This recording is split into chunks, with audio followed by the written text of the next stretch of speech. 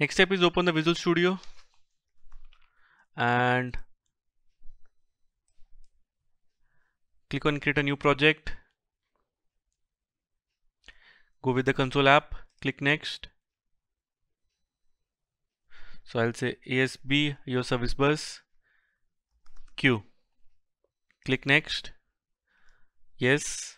Click create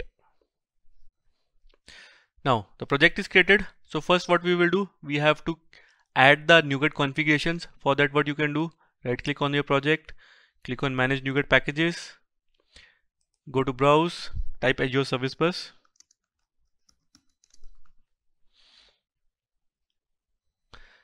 You can go and select the Azure Service Bus but there is another option also available which is Windows Service Bus. It's not been in use. This is the latest one which they have created and you should use this one. So the installation is completed.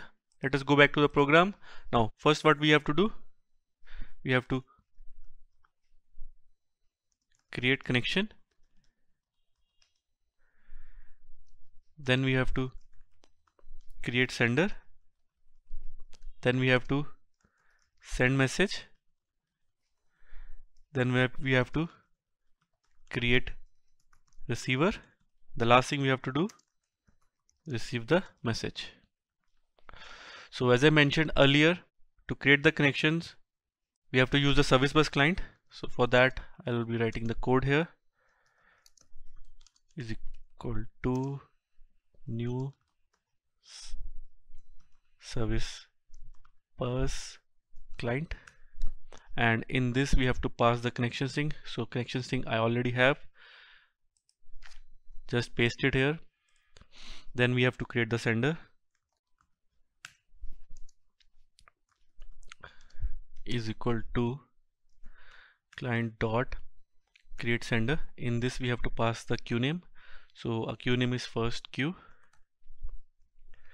And then we have to send the message. And to send the message what we have to do here?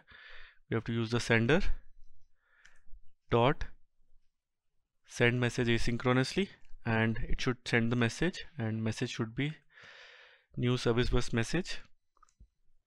What we have to pass here is let us say hello Rohit.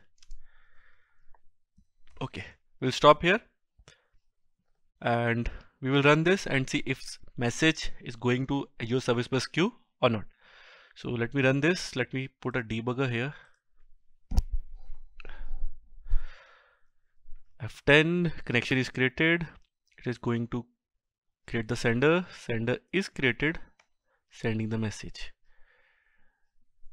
Okay there is no error. So let us go to the Azure and see if there is a message or not.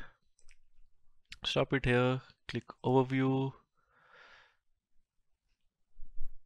Refresh. It says there is a message. There is one active message. That is good. And for that, let me click on Service Bus Explorer to see what exactly is that message.